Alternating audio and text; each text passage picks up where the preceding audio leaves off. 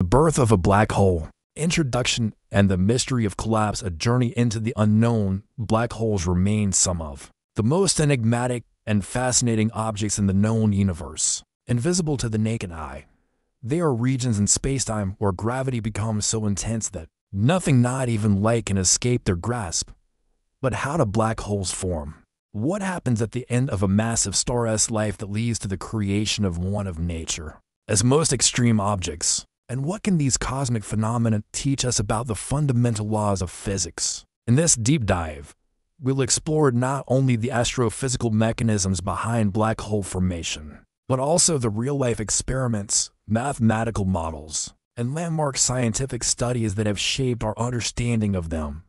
What is a black hole? Really at its core, a black hole is a solution to Einstein's equations of general relativity, surrounded by an event horizon the boundary beyond which no information can return. First predicted by Karl Schwarzschild in 1916 shortly after Einstein published his theory.